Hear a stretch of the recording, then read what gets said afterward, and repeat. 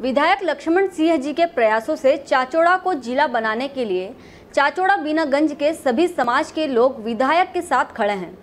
चाचोड़ा बीनागंज के लोगों ने आज एसडीएम जेपी गुप्ता को प्रदेश के मुख्यमंत्री के नाम ज्ञापन सौंपा।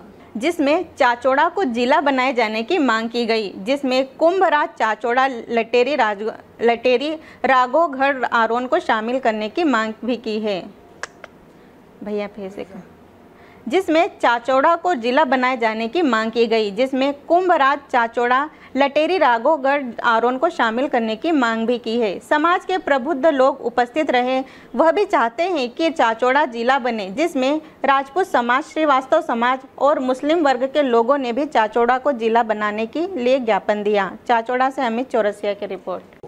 जिला बनाने के लिए आज माननीय मुख्यमंत्री के नाम से ज्ञापन कायद समाज चांचौड़ा बीनागंज की ओर से माननीय एसडीएम चांचौड़ा को दिया गया है और जिसमें हम उम्मीद करते हैं, प्रार्थना करते हैं कि चांचौड़ा को, जो हमारी एक ऐतिहासिक नगरी है, चंपावती नगरी है, गुरु चवन ऋषि की तपस्थली है, उसको ज़िला बनाने के लिए आरोन कुमराज और लेटेरी राघुगढ़ चांचौड़ा, जो भी तहसीलें इसमें शामिल हो सकती हैं, हमारा अनुरोध है कि चांचौड़ा को ज़िला बनाया जाए, ये सर्व ब्राह्मण समाज के द्वारा चांचौड़े को जिला बनाने का ज्ञापन दिया है ताकि पुरातन चांचौड़ा की चंपावती नगरी जिला बने।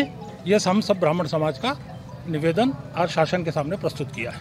अभी गुना ज़िले में आप रह रहे हैं तो इससे क्या असंतुष्टि है? क्या कठिनाइयाँ आती है आपको? गुना यहाँ से 70 किलोमीटर दूर है। लोगों को जाने आने में बड़ी परेशानियाँ हैं।